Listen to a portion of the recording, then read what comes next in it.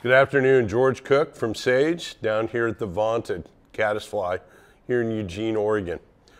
Today's subject matter, the new Sage Arbor XL.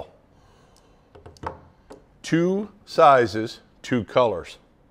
This one's the slate in a 456, frost in a 678. The 456 will be ideal on six weights, longer fives, as well as a longer four, say a 4100 10 foot four.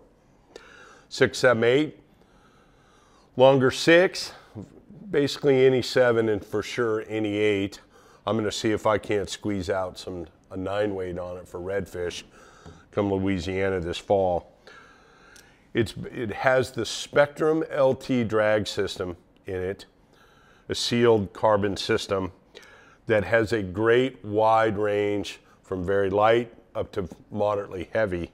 So perfectly identified drag system for a reel of this type and, and use.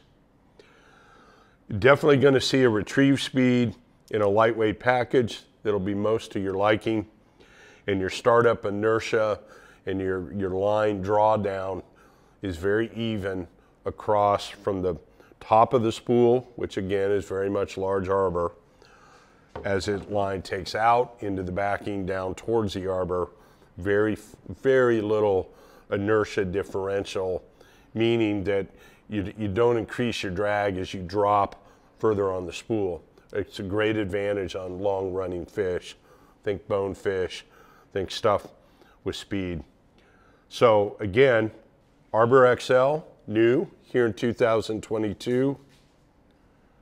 Two sizes, two colors slate, frost, 456, 678, high 400s available now here at the Caddisfly.